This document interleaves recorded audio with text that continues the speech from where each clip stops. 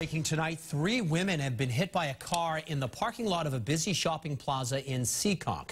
Let's get right out to WBZ's Bill Shields for the very latest tonight. Bill? David happened right over there in front of the Ocean State job lot. They just walked out, the three ladies. When a Subaru was backing out of a parking space, something happened. And all of a sudden, that car sped up, hitting all three pedestrians and pinning one of them.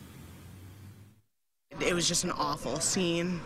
Just blood everywhere and them screaming. It was awful. The three women had just walked out of a Seekonk store when a car started backing out of a parking space. Suddenly, the engine revved up and the car hit the three women, pinning one underneath. Passersby tried to keep her calm. The woman under the car just kept on saying, take the car off me. Please have someone take the car off me. And I was just trying to Make calm sure her down. To, and I said, we can't take the car off you because the paramedics need to do that because we don't want to cause any more damage. All three women suffered serious injuries. He just continued going backwards and just hit everybody and everything in his way.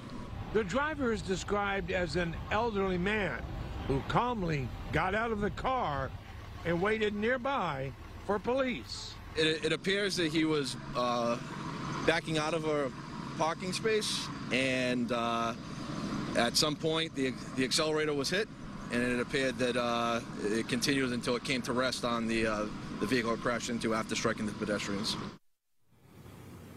And again, the pedestrian's injuries are serious, but not life-threatening. As for that driver, police are still trying to figure out exactly what happened, whether or not that accelerator stuck or whether there was some sort of human error. Reporting live from Seekonk, I'm Bill Shields, WBZ News. Back